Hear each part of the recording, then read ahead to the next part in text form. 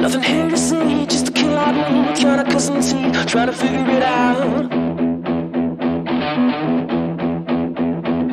Nothing better to do when I'm stuck on you. I'm still, I'm here trying to figure it out